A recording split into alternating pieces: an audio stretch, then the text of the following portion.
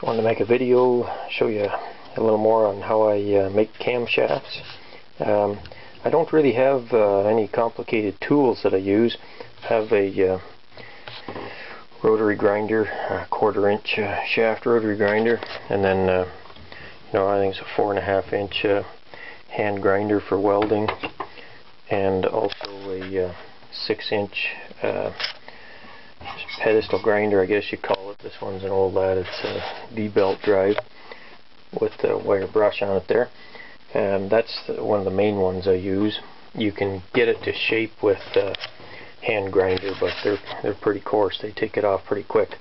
And uh, with uh, the rotary grinder, um, you'd want to use a uh, cylindrical uh, grinding uh, wheel, kind of like a miniature version of that.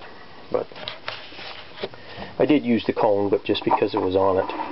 Uh, I got a varying selection of uh, camshafts here. Uh, here's one of the new uh, plastic ones. Uh, I've only used one of those. Um, you can use them for compressed air and stuff because they uh, they will take that kind of abuse um, with say JB welded up lobes and that type of thing. So uh, they're not uh, just garbage. And uh, for some of you that don't have access to a welder or anything uh, that might be an option. You can you know, try JB welding it and that type of thing. So uh, they have their uh, you know they, they can be used for, for things still. I got stock camshaft there. Um, a lobe separation on it and that.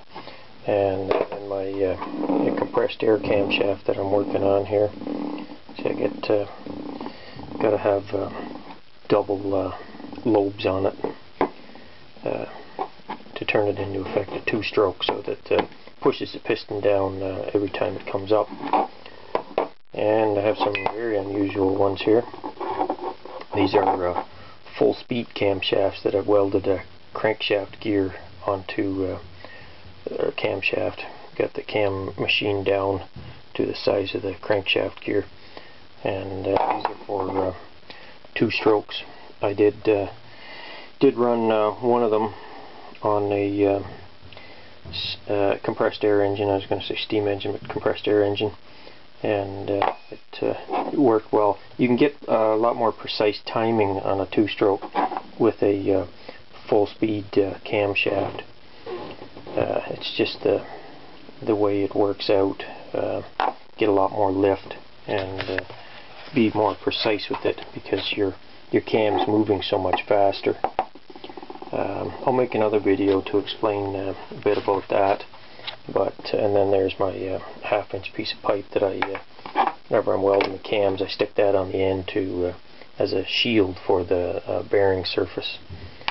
So uh, don't want to get weld spatter. You can see this one. hopefully, I got a bunch of weld spatter on it, but there's nothing on the bearing surface that's just a rough welded one there. Uh, actually, I'll show you a little bit here. Uh, I'll do a little bit of little bit here. Make sure the camera's seeing what I want it to see. Unfortunately, I can't zoom in. I'll make a few sparks fly here.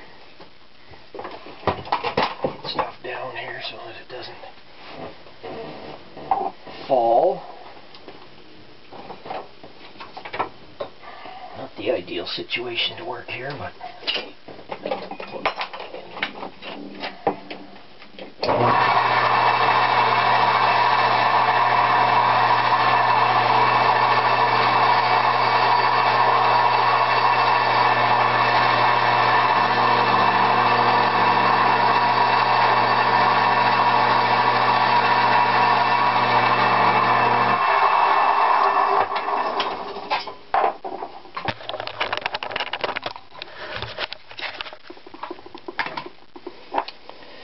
So there you see I did a little bit of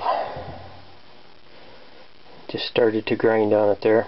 So it takes uh, takes a fair amount of time to uh, grind the lobes uh, down from when you weld it to the, the shape you want. This one's got to go a long ways. Anyway, this vid's getting too long, so I'll uh, make another one. Uh, yeah, I also use uh, flat files and then to polish them, say 600 grit sandpaper anyway, we'll catch you later.